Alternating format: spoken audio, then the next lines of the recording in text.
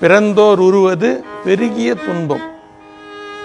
பிறந்தாலே துன்பம் தான் நாம் எத்தனையோ செல்வம் இருக்கலாம் எத்தனையோ விதமான வசதி வாய்ப்புகள் இருந்தாலும் துன்பம் இல்லாதவர்களை நம்மளால் பார்க்க முடியாது. எத்தனையோ விடயத்தினால் துன்பம். அத்தகைய துன்பம் இல்லாமல் இருக்கணும்னா என்ன பண்ணணும்னா பெருமானுடைய திருவடியை நாம் அடையணும். காலத்தை சரியாக உபயோகப்படுத்தணும். இன்று வருமோ நாளை வருமோ மற்றென்று வருமோ. தெரியாது. பெருமான் நிறுத்தி வைக்கும் நிலை வரையும் தான் இந்த உடல்ல இந்த உயிராகப்பட்டது பிணைக்கப்பட்டிருக்கும். இது இன்னைக்கு பார்த்துக்கலாம் நாளைக்கு பார்த்துக்கலாம்லாம் சொல்ல முடியாது. என்னைக்கு திருவருளால் நமக்கு இந்த செய்தி கிடைக்கப்பட்டதோ அன்னைக்கே இறையருளுக்காக நம்ம விழையணும்.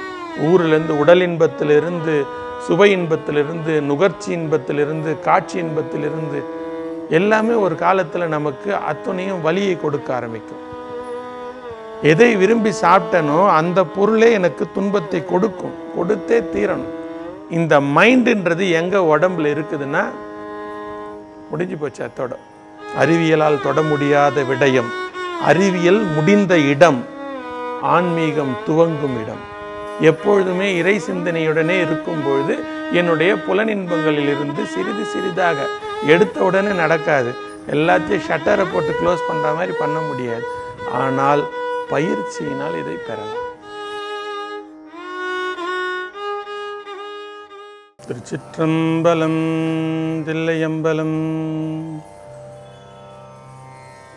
திருவடியும் தண்டையும் சிலம்பும் சிலம்போடுருவ ஒரு வடிவேலும் கடம்பும் தடம்புயமாறிரண்டும் மறுவடிவான பதனங்களாரும் மலர் கண்களும் குருவடிவாய் வந்து என் உள்ளம் குளிர குதி கொண்டவே. குருவடிவாய் வந்து என் உள்ளம் குளிர குதி கொண்டவே. யாம் மோதிய கல்வியும் எம் அறிவும் தாமே பெறவேலவர் தந்ததனால் பூமேல் மயல் போய் பூமேல் மயல் போய் பூமேல் மயல் போய். அறம்மை புணர்வீர் நாமேல் நடவீர் நடவீரினியே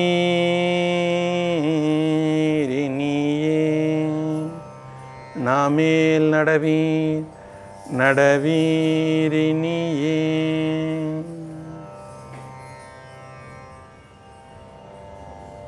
திருச்சிற்றம்பலம். சக்கரவர்த்தி தவராச யோகியனும் மிக்க திருமூலனருள் மேவுனால் என்னாலும் திருச்சிற்றம்பலம். எல்லாம் அல்ல என் ஆன்மநாயகனாம் ஆதிமூலனுடைய அற்புத பெருங்கருணையினாலும் சோமநாத பெருமானுடைய திருவருளாலும் குருவருளாலும் நாம் சமயத்தின் மீதும் பெருமான் மீதும் கொண்ட இடையராத அன்பினாலும் கந்தர் அனுபூதி என்ற அருளடைவு நூலிலே ஒரு சில செய்திகளை சிந்திக்க திருவருள் கூட்டியுள்ளது. முதற்கண் ஆசிரியரை ஏற்றி போற்ற வேண்டும். கந்தர் அனுபூதி பெற்று கந்தர் அனுபூதி சொன்ன எந்தை அருள்நாடி இருக்கும் நாள் என்னாலும் அருணகிரிநாதர் கழனைகள் போட்டு போட்டு திருச்சிற்றம்பல் சென்றைய பாடலிலே முருகன் தனிவேல் முனி நம் குரு என்று அருள் கொண்டு அறியார் அறியும் தரமோ? உருவன்று அருவன்று உலதன்று இலதன்று இருளன்று ஒளியன்று என நின்றதுவே என்ற பாடலை பற்றி நாம் சிந்தித்திருந்தோம். அதாகப்பட்டது முருகப்பெருமானை மனம் வாக்கு காயத்தால் நாம் வரையறுக்க முடியாது பார்க்கவும் முடியாது உணரவும் முடியாது. அவனுடைய அருளையே கண்கொண்டு கண்டால்தான் நாம் முருகப்பெருமானை தரிசிக்க முடியும் என்ற கருத்தை நாம் பார்த்திருந்தோம். இப்போ முருகப்பெருமானை நம்மால் பார்க்க முடியாது உடல் என்ற இந்த கண்ணினால் பார்க்க முடியாது இந்த வாக்கினால் அவனை கேட்டு தெரிய முடியாது. அதற்கு அடுத்ததாக மனத்தினால் அவனை உணரப்பெற முடியாது. மனம் வாக்கு காயத்திற்கு அப்பாற்பட்டவன் முருகப்பெருமான். இதுதான் வந்து பாம்பனாரம் குறிப்பிடும்போது வளர் அருமுகச்சிவன்வர் நாம் பார்க்கும் பொழுதே முழுமையை நம்மால் பார்க்க முடியாது. வளர்ந்து கொண்டே இருக்கக்கூடியது. மணிவாசக பெருந்தகை என்ன சொல்லுவாங்க? ஆதியும் அந்தமும் இல்லா அரும் பெரும் சோதின்வாங்க ஆதியும் அந்தமும் இல்லா அரும் பெரும் சோதினா அது எக்ஸிஸ்ட் அது இருக்கிறது அதை அப்படி சொல்லியிருக்காங்கன்னா அதற்கு மூலமும் கிடையாது முடிவும் கிடையாது. எனவே இறைத்தன்மையை நம்மால் வந்து முழுமையாக காணுதல் இயலாது. அப்போது பெருமானுடைய திருவருளால் அவர்களை உணரலாமே ஒழிய நம்முடைய செயல்பாட்டினால் அவர்களை அடைய முடியாது அப்படின்ட்டு சாமி தெளிவாக குறிப்பிட்டுட்டாங்க போன பாடலில். அதற்கு அடிப்படையாக அவங்க என்ன சொல்லியிருக்காங்க? அருள் கொண்டு அறியார் அறியும் தரமும். அருளையே வச்சு பார்க்கறலன்னா மற்றதுனால பார்க்க முடியுமான்னு கேட்குறார் அப்போ அருளை வச்சு தான் நம்ம பார்க்கணுன்ட்டு முடிவாயிடுது. அப்போது அருளை வைத்து கொண்டு முருகப்பெருமானை தரிசிக்கணும்னா அதற்கு என்ன படிநிலை? அனுபூதி என்பது அருளடைவு நூலை நம்ம முன்னமே குறிப்பிட்டோம். இப்போ இந்த அருளடைவு நூலை நாம் சிந்திப்பதன் வாயிலாக முருக அனுபவத்தை நாம் பெற வேண்டும். இதுதான் குறிக்கோள். ஏன்னா குறிக்கோள் ரொம்ப அவசியம். ஏதோ காலம் போகணுன்றதுக்காக இதை நாம் செய்யலை. காலத்தை சரியாக உபயோகப்படுத்தணும். இன்று வருமோ நாளை வருமோ மற்றென்று வருமோ. தெரியாது. பெருமான் நிறுத்தி வைக்கும் நிலை வரையும் தான் இந்த உடலில் இந்த உயிராகப்பட்டது பிணைக்கப்பட்டிருக்கும். இது இன்னைக்கு பார்த்துக்கலாம் நாளைக்கு பார்த்துக்கலாம்லாம் சொல்ல முடியாது. என்னைக்கு திருவருளால் நமக்கு இந்த செய்தி கிடைக்கப்பட்டதோ அன்னைக்கே இறையருளுக்காக நம்ம விழையணும். அத்தகைய இறை அனுபவத்திற்காக நாம் விழைந்தால் மட்டும் போதுமா? அந்த அருளை பெற வேண்டாமா? அதற்கு நமக்கு முதல்ல அடிப்படையாக என்ன தேவைன்னு கேட்டால் சமயத்தில் நம்ம வந்து முன்னமே குறிப்பிட்டோம் பொதுநிலை சிறப்பு நிலை என்று. பொதுநிலையில் பெருமானிடத்தில் சென்று எனக்கு இதெல்லாம் வேணும் வாழ்க்கையில் இதெல்லாம் பிரச்சனையாக இருக்குது இதெல்லாம் சரி பண்ணி கொடுங்கன்ட்டு அன்றாடம் திருக்கோயிலுக்கு சென்று எத்தனையோ பேர் வணங்குறாங்க பார்க்குறாங்க வராங்க நாம் பார்க்குறோம். இது பொதுநிலை வழிபாடாக கை கொள்ளறோம். இது என்னங்க சிறப்பு நிலை வழிபாடுன்னா கேட்கக்கூடிய பொருளையே கேட்டல். நாம் யார்கிட்ட போய் இந்த விண்ணப்பத்தெல்லாம் வைக்கிறோமோ அந்த பொருள்லாம் எதுவும் வேணாம். எனக்கு நீ தான் வேணும்ன்ட்டு சாமியை கேட்கறது. சரி சாமியை நான் கேட்கறதுனால சாமி என் கூட வந்துட்டாலோ அந்த இறை அனுபவம் கிடைக்க பெற்றால் எனக்கு என்ன கிடைக்கும்? இது முதல்ல நமக்கு தெரிந்து கொள்ள வேண்டியது என்னென்னா பிறந்தோர் உருவது பெருகிய துன்பம். பிறந்தாலே துன்பம் தான் நாம் எத்தனையோ செல்வம் இருக்கலாம் எத்தனையோ விதமான வசதி வாய்ப்புகள் இருந்தாலும் துன்பம் இல்லாதவர்களை நம்மால் பார்க்க முடியாது. எத்தனையோ விடயத்தினால் துன்பம். அத்தகைய துன்பம் இல்லாமல் இருக்கணும்னா என்ன பண்ணணும்னா பெருமானுடைய திருவடியை நாம் அடையணும். அது பேராயற்கை பேரின்பம் அது. பேரின்பத்தில் இருக்கலாம். அது என்னங்க அது? பேரின்பம். இந்த உலக இன்பங்கள் என்பது எல்லாமே ஒரு கால அளவுக்கும் ஒரு வரையறைக்கும் உட்பட்டது. இந்த புலனின்பங்களினால் நாம் பெறக்கூடிய அத்துணை இன்பங்களுமே ஒரு வரையறைக்கு உட்பட்டது தான். இந்த வயதில் எனக்கு ஒரு பொருளினால் கிடைக்கக்கூடிய இன்பம் இந்த வயது தாண்டினால் போய்விடும். பார்க்கின்றோம். எத்தனையோ உணவுகளை நாம் வந்து சுவைச்சிருப்போம். இள வயதில் அதற்காக எங்கெங்கேயோ போய் போய் சாப்பிட்றோம். இதே நமக்கு கடைநிலை வரைக்கும் கொண்டு வருதுன்னா ஒரு காலகட்டத்தை அட என்னப்பா இருக்கு சாப்பிட்றது? எல்லாம் அவ்வளோதான் அப்படின்ற ஒரு எண்ணம் ஒரு அழற்சி ஏற்படுது. இந்த அழற்சி ஏற்படலாம் என்னன்னு சொல்கிறார் திருமலர். அந்த திருமந்திரம் சொல்கிறேன் ஐந்திரியங்கள் அடைக்கும் முறைமை ஐந்தில் அடக்கும் பெருமைன்ட்டு ரெண்டு பகுதி சாமி ஏழாம் தந்தத்தில் குறிப்பிட்டிருக்கார். அற்புதமான பகுதி. ஐந்திரியங்கள் ஐந்து இந்திரியங்கள் அடக்கும் அருமை. ஐந்து இந்திரியங்கள் அடக்கும் முறைமை. முதல்ல முறைமை தெரியணும். அது அடக்கிட்டால் என்ன? அதனால் கிடைக்கக்கூடிய பெருமை அருமை தெரியணும். அதுக்கு சாமி பண்ணியிருக்காங்க. அற்புதமான பகுதி. இந்திரியங்கள் புலன்களை பற்றி தெரிந்துக்கணும்னா அந்த பகுதியை கண்டிப்பாக படிக்கணும் எல்லாரும். அதனால தான் நான் ஒரு ஒரு விஷயத்துலையுமே ஒரு ஒரு திருமந்திர பகுதி எடுத்து நம்ம சொல்லிகிட்ருக்குறோம் போன பகுதியில் கூட மற்றொரு குழலில் கூட மகளிர் பற்றி பேசியிருந்தோம். ஒரு ஒரு திரு ஒரு ஒரு பாடலுக்கும் அனுபூதி பாடலுக்கும் திருமந்திரத்தை நாம் வந்து பகுதி வாரியாக எடுத்து மேற்கோள் காட்டி செய்கிறோம் காரணம் என்னன்னா இதனுடைய விரிவுத்தன்மை. பத்தாம் திருமுறை திருமந்திரம் பத்தாம் திருமுறை கந்தர் அனுபூதின்னு வச்சதுக்குண்டான கனெக்டிவிட்டியை நம்ம பார்க்கிறோம் இதன் மூலமாக. அப்போது இந்த புலன்களின் நுகர்வினால் நமக்கு ஏற்படக்கூடிய இன்பம் ஒரு வரையறைக்கு தான் இதில் அழற்சி ஏற்பட்ட உடனே நாம் இதை பிடிச்சிக்கணும். அதற்காக அழற்சி ஏற்படும் வரை நம்ம காத்துக்கிட்டே இருக்கக்கூடாது. அதுக்கு தான் இது போன்ற நூல்கள் நமக்கு சாமி கொடுத்துருக்காங்க. இந்த புலன் இன்பம் என்பது ஒரு வரையறைக்கு உட்பட்டது. எல்லாத்துலேயும் பார்க்கலாம் எல்லாருமே பார்க்கலாம்.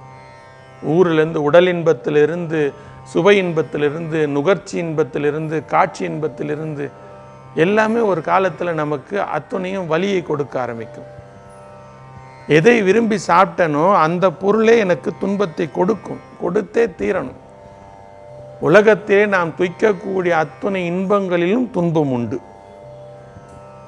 இதுதான் முதல் இறைநிலைக்குண்டான அனுபவ படிநிலை இதை நம்ம புரிந்துக்கிட்டோம்னா போதும். உலகத்திலுள்ள உலக இன்பங்கள் அத்துணையிலும் இருக்கக்கூடிய துன்பத்தை உணர்தல். நல்லா புரிஞ்சுங்க. எந்த விதமான இன்பமும் இருந்தாலும் எனக்கு வந்து இந்த சுவை தான் இன்பம்னா நாம் சுவைக்கக்கூடிய பொருளினாலேயே எனக்கு உடலுக்கு துன்பம் ஏற்படும். இந்த காட்சி தான் இன்பமா? இந்த காட்சியினால் கொடுக்கக்கூடிய விளைவே எனக்கு துன்பத்தை ஏற்படும் ஏற்படுத்தும். முன்னேற்றத்தினாலே நாம் இன்னைக்கு எவ்வளோ டெக்னாலஜிலாம் உபயோகப்படுத்துகிறோங்க ஆனால் இது அத்தனையுமே நமக்கு துன்பத்தை விளைவிப்பன தான் அற்புதமாக ஒரு ஆசிரியர் சொல்லியிருப்பார். கரண்ட்டுன்றதை ஒன்று மிகப்பெரிய அளவில் கண்டுபிடிச்சான். கரண்ட்டுனால தான் இன்றைக்கி வாழறோம் நாம். இந்த கரண்ட் இருக்கிறதுனால தான் கரண்ட்டு போனால் இருக்கக்கூடிய டிப்ரெஷன் வருது. இன்னைக்கு செல்ஃபோன் பார்க்குறோம் இந்த செல்ஃபோனில் எல்லாமே கிடைக்குது. ஆனால் இந்த செல்ஃபோன் இருக்கிறதுனால தான் எல்லா விதமான டிப்ரெஷனுக்கும் நம்ம ஆளாகிறோம். உறவுகளை விட்டு எத்தனையோ தூரம் தள்ளி வந்துட்டோம். இன்றைக்கு எல்லோருக்கும் இருக்க எல்லா பெற்றோர்களுக்கும் இருக்கக்கூடிய ஒரு மிகப்பெரிய விடயம் என்னன்னு கேட்டிங்கன்னா எல்லா குழந்தைகளும் வந்து உறவுகளிடத்தில் பழகுவதில்லை. எப்போ பார்த்தாலும் செல்ஃபோனை வச்சுக்கிறாங்க. செல்ஃபோன் தானே வச்சுக்கிறாங்க வச்சுக்கிட்டு போட்டோன்னு விட்டுடலாம். இது இப்போ வந்து சாதாரண விடயம். அவன் வளர்ந்து வரும்போது அவனுடைய வாழ்வியல் மாற்றத்தை தான் நம்ம பார்க்கணும். அப்போ தான் தெரியும் இன்றைக்கு அவங்க செய்த தவறு. யாருக்குமே ஏமாற்றத்தை தாங்கி கொள்ளக்கூடிய வலிமையோ பொறுமையோ கிடையாது இந்த காலத்து குழந்தைங்களுக்கு. ஒரு உயிருள்ள ஒரு உறவுகளிடத்தில் பழகும் பொழுது ஒரு உறவு கிட்ட பழகுனா அவங்களுடைய இயல்புத்தன்மை இருக்கும். இவரோட இயல்புத்தன்மையோடு பழகும்போது ஒரு சிலது அவங்க பொறுத்து போவாங்க ஒரு சிலது பொறுத்து போக மாட்டாங்க. அவங்க பொறுத்து போகாத விஷயத்தை இந்த குழந்தை அவங்களுக்காக விட்டு கொடுத்து போகணும். ஆனால் இப்போ உறவுகள் எடுத்த பழகாததுனால இதுக்கு விட்டு கொடுக்குற தன்மையே இல்லை. நான் யாருக்காகவும் எதையும் விட்டு கொடுக்க மாட்டேன்ட்டு இந்த காலத்து குழந்தைங்க வளருது. இதனுடைய விளைவு தான் இப்போ உயிருள்ள பொருள்கள் யாருக்கிட்டையுமே பழக்கத்துக்கு எல்லாரும் பயப்படுறாங்க. ஏன்னா நமக்கு வந்து அந்த விட்டு கொடுத்து அட்ஜஸ்ட்ன்ற மேட்டரே இல்லை இப்போ யாருக்குமே. டெடி பேரை வச்சுக்கிட்டோ வீடியோ கேம் ஆடியோ நம்ம வாழ்க்கையை நடத்த முடியுமா? காரணம் என்னன்னா நம்முடைய அறிவாகப்பட்டது சுருங்கி வி- நம்முடைய மனமாகப்பட்டது சுருங்கிவிட்டது. அந்த காலத்தில் கூட்டு குடும்பமாக இருக்க சொல்ல அத்துணை ஃபேமிலி மெம்பர்ஸ் இருப்பாங்க. மாமன் மாமி அத்தை இருப்பாங்க சித்தப்பா சித்தின்னு இருப்பாங்க. எல்லோரிடத்திலும் ஒரு குழந்தை பழகும்பொழுது எல்லாருடைய தன்மைக்கு ஏற்ற மாதிரி இது பக்குவம் பெற்றுது ஒரு காலத்தில். ஒவ்வொருத்தர் ஒன்று ஒன்று சொல்லியிருப்பாங்க ஒன்று ஒன்று செய்திருப்பாங்க. எல்லாத்துலேயும் அடிபட்டு மிதிப்பட்டு வளரும் பொழுது அந்த குழந்தைக்கு இயல்பாகவே அந்த பக்குவம் கிடைக்கப்பெற்றது. ஆனால் இந்த கால சூழல் அவ்வாறு இல்லை. அப்போ அதனால் என்ன பண்ணுச்சு? எல்லாமே என்னை எதிர்க்காத விஷயத்தை பார்த்தது அதுக்கு போயிடுச்சு. எனக்கு அகேன்ஸ்டாக எதுவுமே இருக்கக்கூடாது. நான் நினைக்கிறதெல்லாம் நடக்கணும்னா அது விர்ச்சுவலால் தான் முடியும். ஸோ அதை செலக்ட் பண்ணிட்டாங்க. இதற்கு காரணம் எது? மனம். மெடிக்கல் சயின்ஸில் மூளை வரைக்கும் நல்ல பகுப்பாய்வு செய்து சொல்லிட்டாங்க. இந்த மூளையை இயக்குவது எது அப்படின்னா மைண்டு அப்படின்னு வந்து நிற்பாங்க இந்த மைண்டுன்றது எங்கே உடம்புல இருக்குதுன்னா முடிஞ்சு போச்சு அத்தோட. மெடிக்கல் சயின்ஸ் அதுக்கு மேலே அங்கே ஒன்றும் இல்லை. மைண்ட் இருக்குது ஆனால் எங்கே இருக்குதுன்னு தெரியாது. மைண்டை ஒன்றா இப்படிலாம் பகுப்பாய்வு செய்து அவங்க பேசலாம். மைண்ட் எங்கே இருக்குது அறிவியலால் தொட முடியாத விடயம் அறிவியல் முடிந்த இடம் ஆன்மீகம் துவங்கும் இடம். உடல் உறுப்புக்கள் மூளை வரைக்கும் மூளை உடல் உறுப்புகளை செயல்படுத்துதுன்னு கண்டுபிடிச்சிட்டு மூளையை செயல்படுத்துவது மைண்டுன்ற இடத்துல மனம்ன்ற இடத்துல வந்து நின்றுது முடிந்தது மெடிக்கல் சயின்ஸு அங்கேருந்து துவங்குது ஆன்மீகம். அருளை வச்சு தான் பார்க்க முடியும். இந்த அருள் உனக்கு வரணும்னா என்ன பண்ணணும்னா மனதை பிடிக்கணும். மனம்னா என்ன? நாம் இருக்கோம் நமக்கு ஒரு எண்ணம் தோன்றுது. எத்தனையோ விதமான எண்ணம் தோன்றுது. இந்த எண்ணத்தின் காரணமாக என்னுடைய செயல்பாடுகள் அமையுது. அப்போ எண்ணம் எண்ணம் சார்ந்து மூளை மூளை சார்ந்து உடல். எண்ணம் வந்து மனத்தின் வழியாக மூளையை செயல்படுத்த மூளை உடலை செயல்படுத்துது. இப்போ இந்த எண்ணத்தினுடைய இருப்பிடம் எது? மனம். இதெல்லாம் சார்ந்து செய்து வரக்கூடிய அனுபவங்களை தொகுக்கக்கூடிய ஒரு இடம்னு ஒன்று இருக்குது அதுதான் உள்ளம். இதை வந்து நீங்கள் ஆன்மாவும் சொல்லலாம். என்னது? சரியாக புரிஞ்சுக்கணும். எண்ணம் எண்ணம் தோன்றியவுடன் மனம் தொழிற்பட்டு மூளையை தொழிற்படுத்தும் மூளை தொழிற்பட்டு உடலை தொழிற்படுத்தும் உடல் தொழிற்பட்டதுனால செயல் விளங்கும். செயல் விளங்கியதுனால ஒரு அனுபவம் கிடைக்கும். இந்த அனுபவம் வந்து சூக்கும நிலையில் பதியும் இடம் உள்ளம். இந்த உள்ளம் தான் ஆன்ம அறிவுன்னு நாம கொள்ளலாம் இந்த உள்ளத்தினுடைய ஆட்சி மண்டலம் எது? யோகியர்கள் தெளிவாக விளக்கியிருக்காங்க. புருவப்பூட்டு புருவ மத்திய பற்றி அத்துணை விஷயம் இருக்கு. இப்போ இதெல்லாம் வந்து எது இயக்குதுன்னா பிராணசக்தி இயக்குது. இப்போ இந்த பிராணசக்தி தான் இது எல்லாத்திற்கும் அடிப்படையாக இருந்து செயல்படுத்துது. மனதை செயல்படுத்துவது மனதின் மூலையாக மூளையை செயல்படுத்துவது மூளையின் வழியாக உடலை செயல்படுத்துவது அத்துணையுமே பிராணசக்தி தான். இப்போ இந்த பிராணசக்தி எங்கே போகுதுன்னா மனம் வந்து எப்போ வந்து வேவரிங் ஆச்சோ தடுமாறித்தோ அப்போல்லாம் இந்த பிராணசக்தி நமக்கு விரயமாகும். அப்போ நம்ம முதல்ல பிடிக்க வேண்டியது மனதை. மனதை பிடித்தா மற்றதெல்லாம் கைக்குள்ளே வரும். அதனால்தான் அகத்தியர் ஞானத்தில் கூட அற்புதமாக வந்து ஒரு பாடல் சொல்லியிருப்பாங்க. அருமையான பாடல். மனம் அது செம்மையானால் மந்திரம் செபிக்க வேண்டாம். மனம் அது செம்மையானால் வாயுவை உயர்த்த வேண்டாம். மனம் அது செம்மையானால் வாசியை நிறுத்த வேண்டாம். மனம் அது செம்மையானால் மந்திரம் செம்மையாமே. அற்புதமான பாட்டு. இந்த காலத்தில் யோக பயிற்சியில் இருக்கக்கூடிய அத்துணை பேரும் படிக்க வேண்டிய பாடல் இது. மனம் அது செம்மையானால் வாயுவை உயர்த்த வேண்டாம். தம்பனம் தாபனம்லாம் இருக்குது முதல்ல உச்சி வரைக்கும் நிறுத்துறது உடலில் பரவுறது. இதெல்லாம் மனதை இருத்தி பிடிப்பதற்குண்டான செயல்னு யோக பயிற்சி நமக்கு சொல்லுது. அதற்கடுத்தாக வாசி அடித்தால் நிற்குதுன்னு சொல்லுது. இது எல்லாம் ஒரு பயாஸ்னா அடுத்த ரிவர்ஸ் பயாஸில் சொல்கிறேன் நீ இப்படிலாம் போய் மனசை நிறுத்ததுக்கு மனசை நிறுத்திட்டா இதெல்லாம் தானாக நிற்க போகுதுன்றார். அகத்தியர். அப்போது மனம் எப்போ செம்மையாகும்? அடுத்த கேள்வி. மனம் செம்மையானால் இதெல்லாம் வரும்ன்றோம். மனம் எப்போ செம்மையாகும்? மனதை செம்மையாக விடாமல் பண்ணுறது என்ன? மில்லியன் டாலர் கொஸ்டின் மனம் செம்மையானு சொல்லிட்டோம். மனம் செம்மையாக விடாமல் இருக்கிறது என்னன்னு கேட்டால் ஆசை.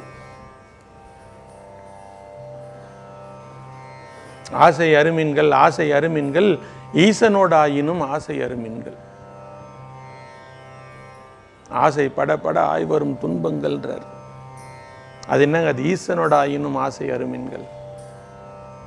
சாமியை தான் அடையணும்னு நினைக்கிறோம். அப்புறம் ஈசனை அடைவதில் ஆசை கொல்லக்கூடாதுன்னா ஆசை என்பது என்னன்னு கேட்டிங்கன்னா அதற்கு தகுதிப்பாடு இல்லாமல் விரும்புவது. ஒரு பொருளை அடைய வேண்டுமென்றால் முதல்ல நம்ம அதை தகுதிப்பாடை வளர்த்து கொண்டால் தானாக அந்த பொருள் கிடைக்கப் பெறும் சிவானுபவம் வேண்டும்னா நான் அதற்கு பக்குவப்பட்டால் சிவன் தானாக வரப்போகுது. நான் போய் அதை கேட்கவே வேண்டாம். அப்போ நான் முதல் பக்குவப்பட வேண்டியது யார் கையில் இருக்குது என் கையில் இருக்குது அப்போது இந்த மனம் செம்மை ஆகணும்னா முதல்ல நான் சொன்னேன் இல்லைங்களா அந்த பிராண சக்தின்றது இந்த ஆசை வந்தாலே பிராணசக்தி போயிடும். ஓட்டம் அதிகமாகிடும் எந்த பொருள் மேலே ஆசை வந்தாலும் நமக்கு சாரம் ஓட ஆரம்பிச்சிடும் விருப்பம் வந்த உடனே சாரம் ஓட ஆரம்பிச்சிடும் சாரம் ஓடுச்சுன்னா நமக்கு எல்லாமே டிஸ்டபிள் ஆகிடும் அப்போ இதை எப்படி நிலைநிறுத்துறது? அதற்கு அற்புதமாக சாமி இந்த பாடலில் விளக்கம் சொல்கிறாங்க அற்புதமான விளக்கம் இந்த பாடலில். முதல்ல அருளினால் பார்க்கணும். அருளுக்கு அவசியம் என்ன? அப்படின்னு பார்த்தா முதல்ல இதில் சாமி சொல்கிறது அருளுக்கு அவசியம் ஒழுக்கம். ஒழுக்கம் இல்லாமல் அருள் வரவே வராது. அப்போ ஒழுக்கத்தை வலியுறுத்துவது இந்த பாடல்.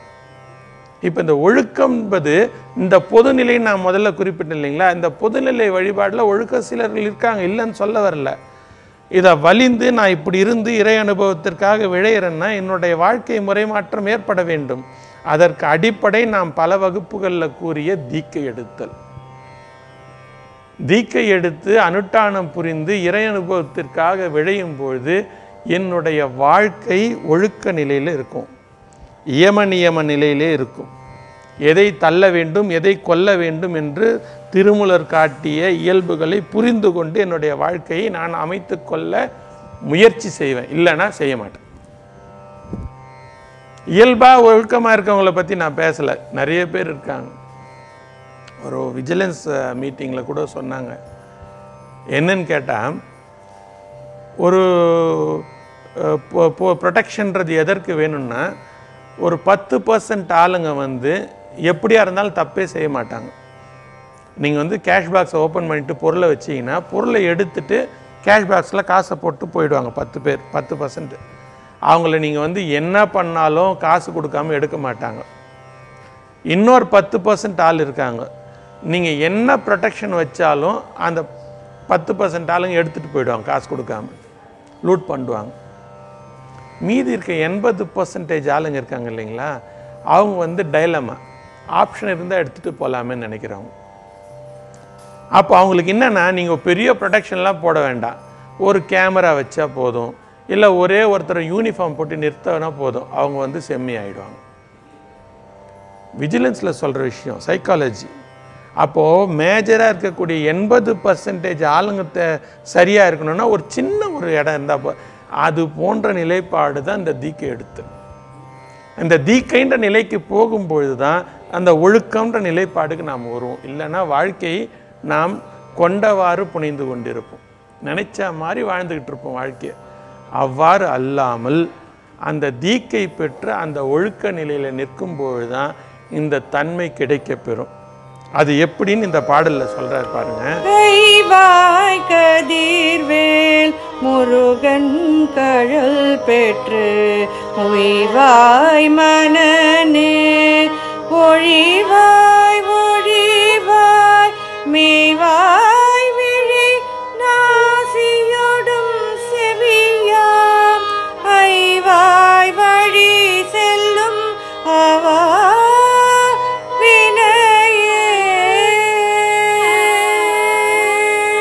கைவாய் கதிர்வேல் முருகன் கழல் பெற்று கை வாய் கதிர்வேல் முருகன் கழல் பெற்றுன்னு சொல்கிறார் முதல் வரியில். இது என்னங்க இது? கை வாய். கை என்றால் ஒழுக்கம் என்று பொருள். வாய் இங்கே ஏழாம் வேற்றுமை உருவு. அதாவது இதனால் ஒழுக்கத்தினால் கைவாய் கதிர்வேல் முருகன் கழல் பெற்று. இங்கே வந்து கதிர் வேல் எத்தனையோ வேல் பார்க்குறோம். வெற்றி வேல் பார்க்குறோம். வீரவேல் பார்க்குறோம். ஞானவேல் பார்க்குறோம். இங்கே சாமி குறிப்பிட்டிருக்கிறது கதிர்வேல். அது என்ன கதிர்வேல்? கதிர் இருந்தால் ஒளி பொருந்திய வேல். இங்கே இருக்க ஒளி என்னென்னா தன் கதிர்வேல்.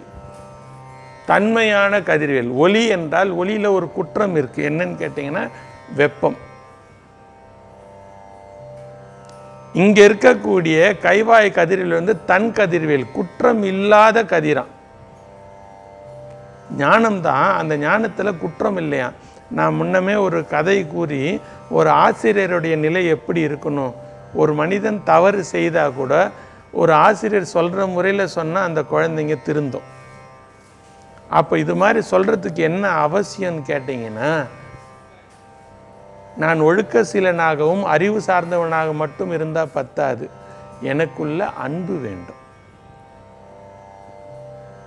இந்த அன்புன்றது நமக்கு கிடைக்க பெற்றால் இந்த கருணைன்றது கிடைக்க பெற்றால் அடுத்தவர்களுடைய ஒழுக்கின்மையை நம்ம பரிகாசிக்கவோ இல்லை வந்து அவர்களை குத்தி காட்டவோ செய்யாமல் அவங்கள அதிலிருந்து கொண்டு வர முயற்சிப்போம்.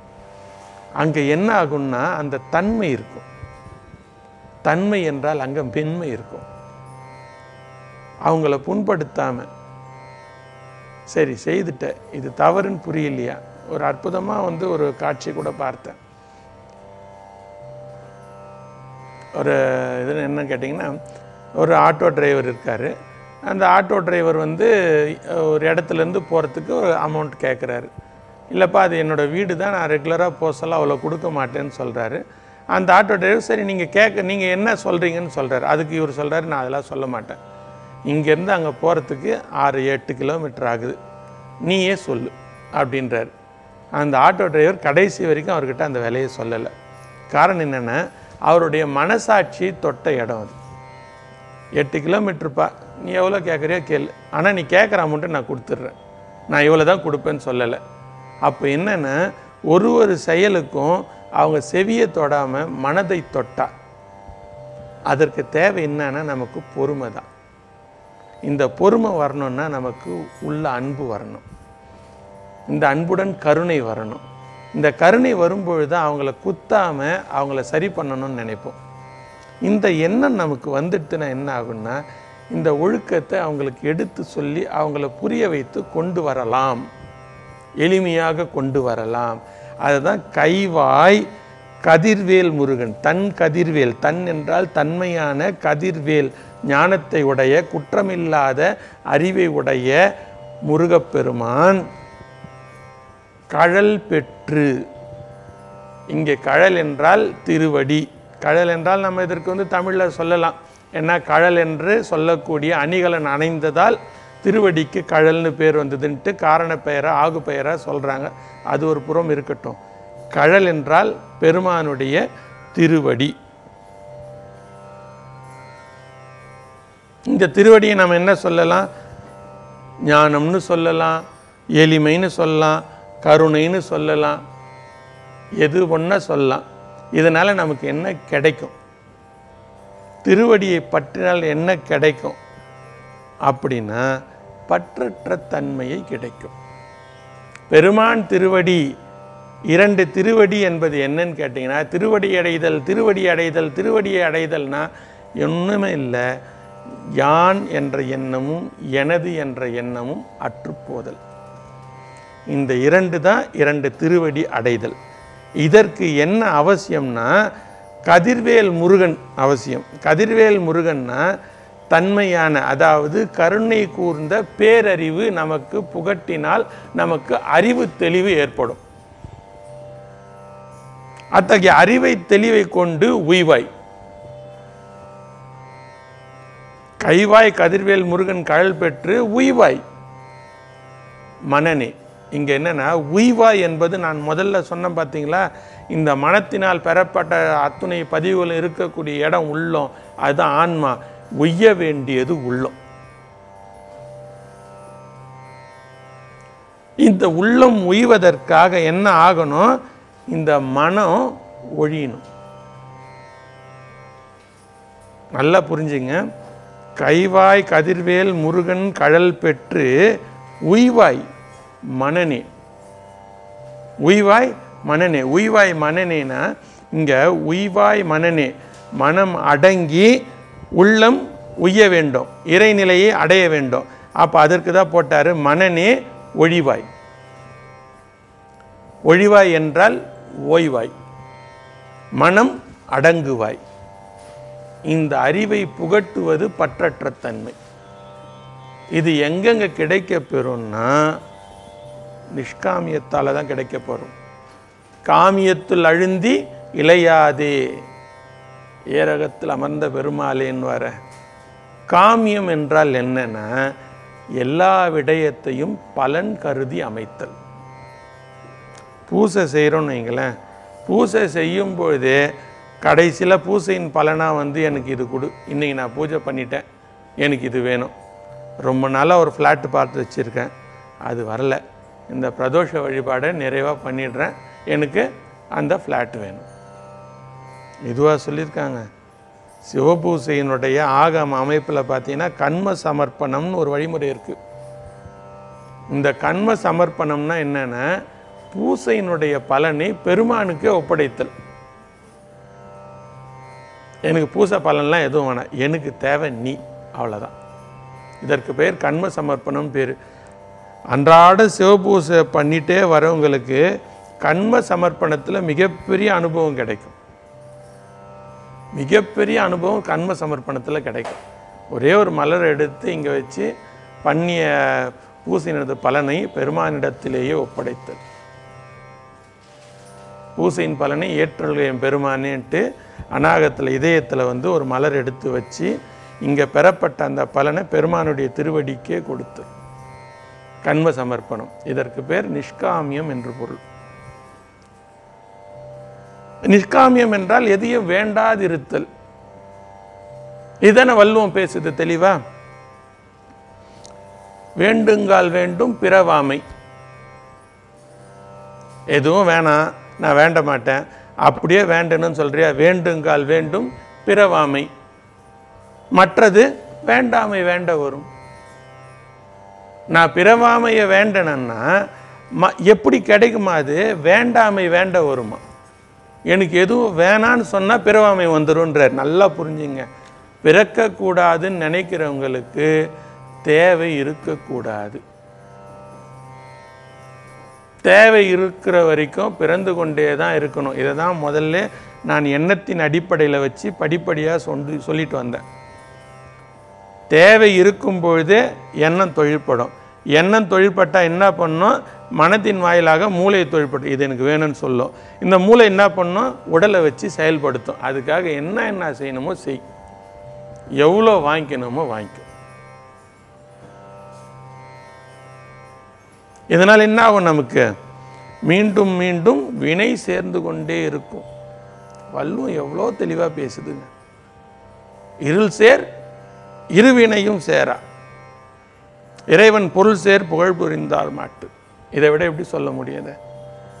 எண்ணம் தொழில்பட்டு உடல் இதற்காக போய் ஆகாமியத்தை சேர்த்துக்கிட்டே இருக்கு. இருள் சேர்க்கும் உன்னுடைய ஆன்மாவை இருள் என்று சொல்லக்கூடிய அறியாமையில் சேர்க்கும் இருவினையும் சேரா. உன்னை குற்றத்தில் தள்ளக்கூடிய இரண்டு வினைகளும் உன்னை சேர்க்காது. பாவ புண்ணு இரண்டு வினையும் சேர்க்காது. எப்போ? பொருள் சேர் இறைவன் புகழ் புரிந்தார் மாட்டு. செம்பொருள் துணிவு என் பெருமான் தான் வேணும்ன்ட்டு எப்போ நினைச்சு அவருடைய புகழை நீ வந்து பாடுறியோ அப்போ இருவினையும் சேரா. பொருள் சேர் புகழ் புரிந்தார் மாட்டு. அப்போ என்ன பண்ணணும்? இந்த மனம் என்பது அடக்கணும் அடக்கணும்னு சொல்றதை விட மனதினுடைய தொழிலை மாத்திட்டா. மனதினுடைய தொழில் என்னுடைய உலக தேவைக்காகவே போயிட்டுருக்கேன் என் மனசை அப்படியே சாமி பக்கம் திருப்பிட்டா? இதுதான் சொல்கிறாங்க இதுதான் முன்னமே கூட குறிப்பிட்டிருந்தேன் நான். தொழிலை மாற்றணும் தொழிலை மாற்றினா மற்றதெல்லாம் நமக்கு கைவரப்பெறும். அப்போ என்ன? உய்வாய் மனனே நீ உய்ந்து போகலாம் இந்த ஆன்மா உய்ந்து போகும். பெருமான் திருவடிக்கு எப்போ? மனம் ஒழிவாய். அதாவது ஓய்வு அடங்கும் அதாவது மனம் அடங்கும். மனம் அடங்கினா என்ன ஆகும்? அடுத்த ஒழிவாயை சேர்த்து படிக்கணும். ஒழிவாய் மெய்வா விழி நாசியொடும் செவியாய். ஐவாய் வழி செல்லும் அவாவினையே எதை ஒழிக்கணுமா? மெய் வாய் விழி நாசியொடும் செவி. இந்த ஐந்து வாய் வழியாக செல்லும் அவாவினை ஒழிவாய். அந்த ஒழிவாயை இங்கே எடுத்து போடணும். இப்போ இந்த ஐந்து புலன்கள் வழியாக செல்லக்கூடிய அவாவை நீ ஒழித்தால் உய்வாய். ஆன்மா உய்யும். எதனால? மனம் அடங்குவதனால. என்ன பாட்டுங்க. படிக்க படிக்க படிக்க ஒரு ஒரு வார்த்தையிலும் அத்தனை செய்திகளை சாமி கொட்டி வச்சிருக்கார் இதுல. அப்போது இதற்குண்டான வழிமுறைகள் என்ன? சரி நான் இது எனக்கு ரொம்ப சின்ன வயசா இருக்குங்க. கொஞ்ச நாள் ஆகட்டும். அப்புறம் நான் வந்து சேர்ந்துக்கிறேன். அதற்கும் முறைமையில் பெருமையில் வைக்கிறார். ஐந்து இந்திரியங்கள் திருமூலர் வைக்கிறார். ஆக மதத்தன் ஐந்து களிருல ஆக மதத்தறியோடு அணைகின்றன. பாகனும் எய்த்து அவை தாமும் இணைந்த பின் யோகு திருந்துல ஒன்றறியோமே. இதன் பின்னமே சுற்றி சுற்றி உலகாயதுக்காகவே நாம் சுற்றிட்டோம்னா உலக இன்பத்திற்காகவே நாம் சுற்றிட்டோம்னா யோகத்தில் சேர்ந்து ஒன்றுத்தையும் அடைய முடியாதுன்னு குறிப்பிடுறார். அப்போ என்னென்னா சிறிய வயதிலேயே நமக்கு அடுத்த பாடலில் சாமி குறிப்பிட போகிறாங்க இதை பற்றி தான் எல்லாரும் என்ன நினைக்கிறாங்க? இப்போ தாங்க பார்த்துட்ருக்கேன் நான். வந்துடுவேன் முடிச்சுட்டு வந்துடுவேன் இவர் வந்து வேலைக்கு போயிட்டு பசங்களுக்கெல்லாம் திருமணம் பண்ணி வச்சுட்டு அறுபது வயசில் வந்து கடகடன் ஆன்மீகத்தில் சேர்ந்து திருவடி அடைந்துருவாங்க. நிறைய பேரை பார்க்குறோம். எல்லாம் முடிஞ்சிட்டுன்ட்டு ஏழாமையில் வந்து சேர்ந்தப்போ ஒன்றுமே புண்ணியம் இல்லைன்னே சொல்கிறார் திருமூலர். அதனால்தான் குமாரன்றது அடிக்கடி ஆற்றலோடு வரணும். ஆற்றல் இருக்கப்பவே ஆன்மீகத்துக்கு வரணும். அத்துணை ஏதோ ஒரு நுட்பமான செய்தியை கைவாய் கதிர்வேல் முருகன் கழல் பெற்று உய்வாய் மன்னனே ஒழிவாய். உன்னுடைய மனமாகப்பட்டது ஒழிய வேண்டும். அதற்கு என்ன பண்ணணும்? உன்னுடைய அவாக்கள் போகணும். இந்த அவாக்களை எப்படி போக முடியும்? நமக்கு தான் போட்டு வலிக்குது எல்லாம். சாமி முன்னாடி நிற்க சொல்ல சாமி தான் வேணும்னு கேட்குது வெளியே போனால் தான் எல்லாமே ஒரு ஒரு பக்கம் பிடிச்சி இழுக்குதே. இதை தான் சொல்கிறார் ஆக மதத்தன ஐந்து களிருல அஞ்சு களிறு மதம் பிடித்த யானை போல நம்ம பிடிச்சி இழுக்குதான். ஆக மதத்தறியோடு அணைகின்றன. அதோடவே சேர்ந்து நம்முடைய மனமும் ஓடுது செயல்பாடும் ஓடுது. பாகனும் ஏய்த்து அவைதாமும் இழைத்த பின். பாகன் என்று சொல்லக்கூடிய ஆன்மாக்கும் அழற்சி வந்துச்சு. அதுவும் ஓடி ஓடி அழற்சி. அது பின்னாடி இந்த ஐந்து புலன்கள் பின்னாடியே ஓடி ஓடி அதுக்கும் அழற்சி ஏற்பட்டது. அழற்சி ஏற்பட்டு அறுபது வயசில் வந்து ஆன்மீகம் என்ன முடியுமா? அதுதான் கடைசி வரியில் போடுறார். யோகி திருத்துள்ள ஒன்றறியாமே அங்கே போய் நீ உன்னால் ஒன்றும் பண்ண முடியாது. ஐந்து இந்திரியம் அடக்குதலுடைய அருமை. அப்போ என்ன பண்ணணும்? நீங்கள் இந்த ஐந்து புலன்கள் வழியாக ஓடிக்கிட்டு இருக்கக்கூடியதை உங்களால் அடக்க முடியாது. ஐந்தையும் அடக்கு அடக்கு என்பார் அறிவிலார். ஐந்தையும் அடக்கும் அமரரும் அங்கில்லை. வானுலகத்திலையும் இல்லையா? ஐந்தையும் அடக்கினால் அசேதனம் என்றிட்டு ஐந்தையும் அடக்க அறிவறிந்தேன் என்றார் திருமூலர். ஐந்தையும் அடக்கினால் அசேதனம். அசேதனம் என்றால் சடம் என்று சொல்லக்கூடிய நிலைப்புத்தன்மை. இந்த உடலாகப்பட்டது கொடுக்கப்பட்டதனுடைய நோக்கம் அனுபவம் பெறணும். அனுபவம் பெறாமல் இது கண்ணை காதெல்லாம் மூடிக்கிட்டு இருக்கிறதுனால ஒன்றுமே ஏற்பட போகிறது கிடையாது. பெற்ற அனுபவத்தின் வாயிலாகத்தான் தெளிவு ஏற்படும். அப்போ நான் அனுபவமே பெறாமல் எல்லாத்தையும் இறுக்கி மூடிக்கிட்டு உட்காரதுனால என்னன்னா நான் என்ன தன்மையில் வந்தனோ அதே தன்மையில் தான் போவேன். எனக்கு வளர்ச்சியே இருக்காது. எல்லாரும் இப்படி தான் நினைக்கிறாங்க. என்ன ஆன்மீகத்தில் இயல்புத்தன்மை என்பது ரொம்ப ரொம்ப ரொம்ப அவசியம். நான் வந்து பதினாறு இடத்துல திருநீர் வச்சுக்கிட்ட உடனே இந்த திருநீருக்காக ஒழுக்கமாக இருக்கிறது முதல் நிலை. ஆனால் என்னுடைய உடலிலேயே ஒழுக்கம் என்பது முழுமையாக தங்க வரும் என்பது தான் திருநீர் அமைப்பதனுடைய நோக்கமே. இயல்பாக ஒழுக்கம் எனக்கு தங்க பெறணும். அப்போ தான் எனக்கு அனுபவம் கிடைக்கும். ஆன்மீகத்தில் இயல்புத்தன்மை என்பது மிக மிக மிக மிக மிக அவசியம். இயல்பாக நான் சீரமைய வேண்டும். அதற்கு தான் சாமி வந்து இந்த கருவி கரணங்களை கொடுத்து அந்த கருணை அவரோட கருணை இந்த கருவி கரணங்களை கொடுத்து இந்த உலகத்தில் அனுபவத்துக்கு அனுப்புகிறார் இங்கே வந்து நான் அனுபவப்பட மாட்டேன்னு சொல்கிறது அனுபவம் பட்டு தெளிவு பெறணும். இங்கேருந்து மடைமாற்றம் ஆகணும். மடைமாற்றம் ஆகணும்னா என்ன பண்ணணும்? இந்த ஐந்து இந்திரியங்களுக்காக ஐந்து புலன்களுக்காகவே ஓடிக்கொண்டிருக்கக்கூடிய என்னுடைய அவாவை என்னுடைய விருப்பத்தை என்னுடைய இச்சையை என்னுடைய ஆசையை பெருமான் திருவடிக்கு திருப்பணும். இதை தானே இரண்டு பாடல்களுக்கு முன்னாடி நாம் சொல்லியிருந்தோம். திருப்போரூர் சந்நிதி முறையில் இருக்கக்கூடிய அற்புதமான பாடல். அற்புதமான பாடல். ஐவாய் அவாவினையே உன்னடிக்கு வைப்பதலர். பெருமான் திருவடிக்கு எவ்வளோ பூ போடுறோம் கூட கூடையா விதவிதமான பூக்கள் வாசனை பூக்கள் அதெல்லாமா கேட்குறார் அவர் கேட்கக்கூடிய அலர் மலர் எதுன்னு கேட்டால் இந்த ஐந்து இந்திரியங்களுடைய அவா விருப்பம் அது அவருக்கு கேட்குறாரு ஏன் சொல்கிறாருன்னா இது இதனால தான் துன்பப்படுது. இந்த துன்பம் நாம் படக்கூடாதுன்ட்டு பெருமான் கொண்ட பெரும் கருணை. ஐயோ கஷ்டப்படுறிய. நீ அதை விட்டால் நல்லா இருக்குன்ற என் திருவடிக்கு வான்னு அவர் எதை சொல்கிறாருன்னா இதை விட சொல்கிறார் வேற ஒன்றுமே இல்லை. அவரை நாம் வழிபடுறதுனால அவருக்கு என்னங்க இருக்குது அடுத்த பாடலில் என் குணத்தை பற்றி சிந்திக்க போகிறோம் நாம். அவருடைய திருவடியை சிந்தின்னு அவர் சொல்லலை. அவர் திருவடி என்பது நம்முடைய நிலை. நம்முடைய பற்றற்ற நிலை. இந்த பற்ற விட்டா நமக்கு நிம்மதி. அதை தான் சாமி சொல்கிறார் ஐவாய் அவாவினையே உன்னடிக்கு வைப்பதல்லர் மெய்யான அன்பே வியன் சலமாம்.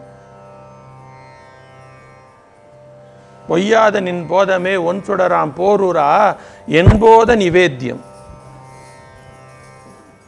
முதல்ல எனதை சொல்லிட்டு கடைசியா என்போத நிவேத்தியம் என் என்ற தான் என்ற தற்போதத்தை உனக்கு அர்ப்பணிக்கிறேன். நிவேத்தியம் நாம் வந்து எது ஏதோ பயங்கர கிராண்டாக பண்ணுறதெல்லாம் சாமி என்ன அனுபவிக்க போகிறார் சொல்லுங்க. ஒன்றும் கிடையாது.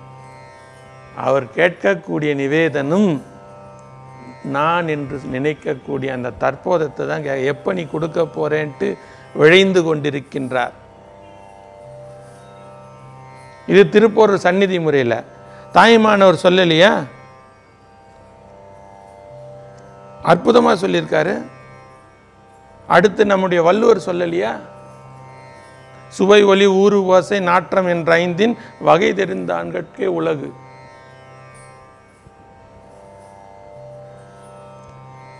அவங்க என்ன சொல்றாங்க? இந்த ஐந்து இந்த ஐந்து தன்மை நீங்க மற்ற திருக்குறளுக்கெல்லாம் வந்து நான்கு வரியில எழுதினவர் ஐந்து வரியில தான் எழு அழகர் உரை இதற்கு ஒரு பக்க அளவில் எழுதியிருக்கார். சுவை ஒலி ஊறி ஓசை என்று சொல்லக்கூடிய தன்மாத்திரைகள் வாயிலாக என்னுடைய ஆன்ம தத்துவங்கள் எவ்வாறு விடுபடும்? இதனுடைய வகையை தெரிந்து கொண்டால் உடல் அளவிலிருந்து பிரிந்து ஊன் வேறு உயிர் வேறாக எப்போ எனக்கு ஆன்ம சுத்தி கிடைக்கும்ன்றதை தெளிவாக பதிவு பண்ணுறார் பரிமேலழகர்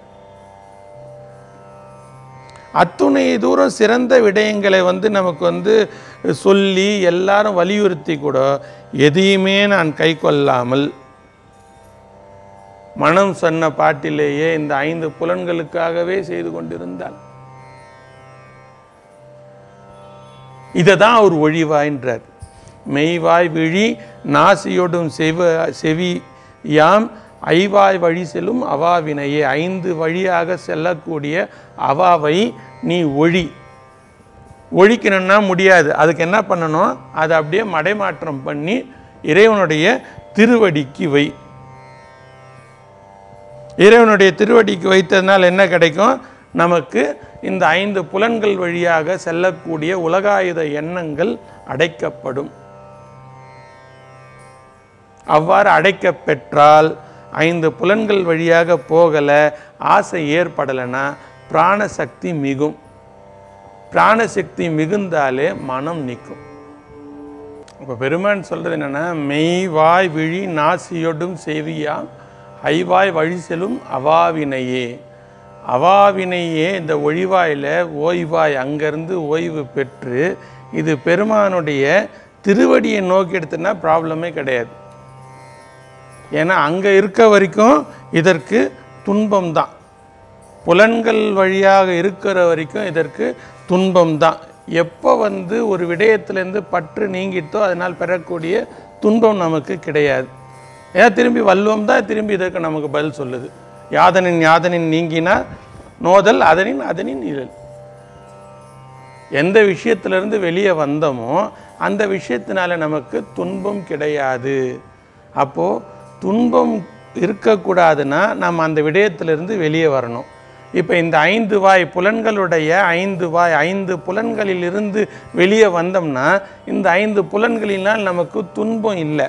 அப்போ சாமி என்ன நினைக்கிறாரு? நாம் துன்பப்படக்கூடாதுன்னு நினைக்கிறாரு. ஆனால் நாம் என்ன விருப்பப்படுறோம்? இதுதான் இன்பம்னு நினைக்கிறோம். இது துன்பம். இந்த ஐந்து புலன்கள் வழியாக போகிறது துன்பம். இது நமக்கே ஒரு காலத்தில் புரியுது. அது கடந்த நிலையாக இருக்குது அதை முதல்ல சாமி சொல்கிறார் வேணாம். நான் இதுக்காக உன்னை அனுப்பலை. நான் உன்னை அனுப்புனது வேறு விடயத்திற்காக. நீ விட வேண்டிய விட விஷயத்தை விடுறதுக்காக தான் இந்த பிறவி. அந்த யான் எனதுன்றதை விட்டுடு பிரச்சனை இல்லைன்றார். ஆனால் இது எனது அப்படின்னு சொல்லக்கூடிய இந்த துய்ப்புக்களுக்காக விருப்பப்பட்டு அவாக்களை இந்த ஐந்து புலன்கள் வழியாக விட்டு துன்பப்படுகின்றது. இதை நீ ஒழிவாய்.